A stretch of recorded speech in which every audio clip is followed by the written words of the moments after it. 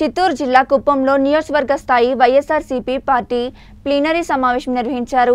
ఈ సమావేశానికి ముఖ్య అతిథులుగా చిత్తూరు ఎమ్మెల్సీ భరత్ చిత్తూరు ఎంపీ రెడ్డప్ప జిల్లా చైర్మన్ జి శ్రీనివాసులు కడప జిల్లా ఎమ్మెల్సీ రమేష్ యాదవ్ పాల్గొన్నారు.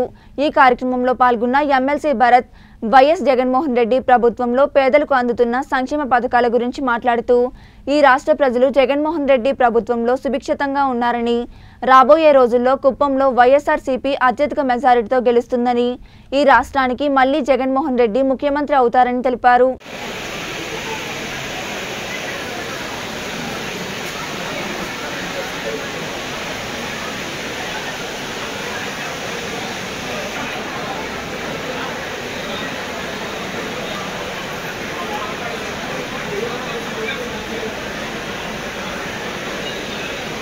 రైతు రుణమాఫీ ఎవరికైనా రైతు రుణమాఫీ జరిగిందా ఈ రోజు నేను చూటిగా అడుగుతున్నా ఒక రైతు కూడా రుణమాఫీ చేయకపోగా యావత్ ఆంధ్ర రాష్ట్రంలో ఆ రోజు దాదాపు ఎనభై ఆరు వేల కోట్ల రుణం ఉంటే కేవలం ఇరవై నాలుగు వేల కోట్లు కుదించి అందులో కూడా పన్నెండు వేల కోట్లు మాఫీ చేసి వచ్చిన ఉంచిన కనుడు ఈ చంద్రబాబు నాయుడు అని చెప్పి అందరికీ కూడా తెలియజేస్తున్నాం అంతేకాకుండా అక్క చెల్లెమ్మలందరినీ కూడా మోసం చేసిన చరిత్ర చంద్రబాబు నాయుడు అని చెప్పి మీ అందరికీ కూడా తెలియజేస్తున్నాం బ్రోకర్లు మాఫీ చేస్తామన్నాడు తా- తాకట్టు పెట్టిన బంగారు ఇంటికి తెచ్చిస్తామన్నాడు ఎవరికైనా జరిగిందా అని చెప్పి ఈ కుటుంబం ప్రజలను అడుగుతున్నాం అదే మన జగన్మోహన్ రెడ్డి గారు నేను అధికారంలోకి వస్తే అక్క చెల్లెమ్మలందరికీ కూడా బ్రోకర్లు మాఫీ చేస్తామని చెప్పి ఈ రోజు రెండు విడతలుగా దాదాపు రాష్ట్రం మొత్తం మీద పదమూడు వేల కోట్లు రుణమాఫీ చేయడం జరిగింది ఈ రోజు నిన్న చూశారు అమ్మఒడి కార్యక్రమంలో ఎనభై మూడు వేల లక్షల విద్యార్థి విద్యార్థులకు దాదాపు నిన్న ఆరు వేల ఐదు వందల కోట్లు రిలీజ్ చేయడం మనం మనం చూస్తున్నాం. అమ్మఒడి కార్యక్రమం అయితే రైతులందరికీ కూడా దాదాపు రైతు భరోసా కింద మనం ఈరోజు చూస్తున్నాం. రాష్ట్రం మొత్తం మీద యాభై రెండు పాయింట్ నాలుగు లక్షల రైతు కుటుంబాలకు మనం ఇరవై వేల నూట యాభై రెండు కోట్లకు దొరికి మూడు సంవత్సరాలు. ఇది రైతుల ప్రభుత్వం రాజన్న ప్రభుత్వం వైఎస్ జగన్మోహన్ రెడ్డి గారి ప్రభుత్వం అని చెప్పి అందరికీ కూడా తెలియదు. అంతేకాకుండా మనమందరం చూస్తే వేదిక అలంకరించినటువంటి గౌరవనీయులు పెద్దలు చిత్తూరు పార్లమెంట్ సభ్యులు మన నారాయణ గారికి వేదిక మీద సమయాభావం వల్ల మాట్లాడలేకపోయినారు మన నితిన్ గాని వనితమ్మ గాని రామ్మూర్తి గారు పెద్దన్న వీళ్ళందరూ కూడా. నియోజకవర్గంలో వైఎస్ఆర్సిపి పార్టీ అంటే ఏంటి? వైఎస్ఆర్సీపీ పార్టీకి ఉన్న బలం ఎంత?